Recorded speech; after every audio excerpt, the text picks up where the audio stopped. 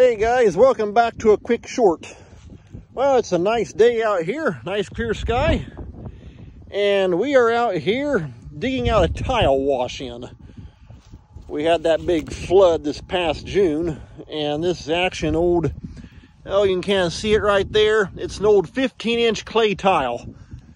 And um, no, it runs way out across the field, heading west over there to the ditch several years ago we put a plastic tile in to replace it but uh, it still likes to wash in everything.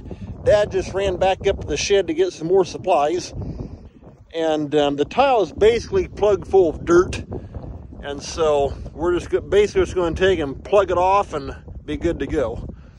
So yeah that's what we're up to on a nice sunny day. Thankfully it's not too bad out here temperature wise so take care. Thanks for watching. We'll see you next time